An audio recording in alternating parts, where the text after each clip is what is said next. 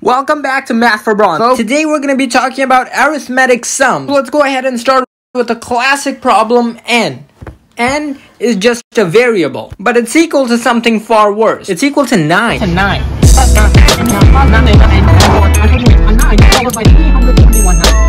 We have to find the sum of the digits of n. So the first thing you're thinking is, Jesus Christ, I've got so many nines. What can I possibly do?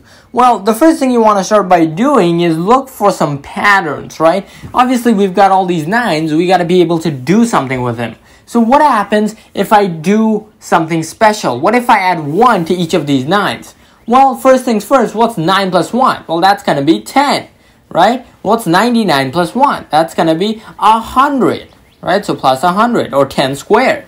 What's 999 plus 1? Well, it's plus 10 cubed, or 1000, and so forth, until you reach the final term in the series, which is 9 followed by 321 9. Okay, great, so now what are we gonna go? Well, we got 10 plus 10 squared plus 10 cubed all the way to 10 to the 321 power. So what can we do? Well, we can be a bit creative, right? When we added all these ones to all these nines, we also have to subtract 321 because we added 321 ones. And so now we can creatively add and subtract these first powers of 10 from 321. So what's 10 plus 10 squared plus 10 cubed? Well, that's 1110 minus 321, okay? And then we're just going to add on the rest, the remainder of the series, right? Plus 10 to the 4th all the way to, you know, 10 to the 321. Okay, great. So now what's 10, uh, 1110 minus 321? Well, that's 789. Okay, that sounds like I made it up, but it's true. And then we just add the remainder and we get our final answer. So our answer is 342. Thanks for watching this episode of Math for Bronx. We'll check you out in the next one, sponsored by Brilliant.org. Embedded plus MKO plus scaffolding equal learning.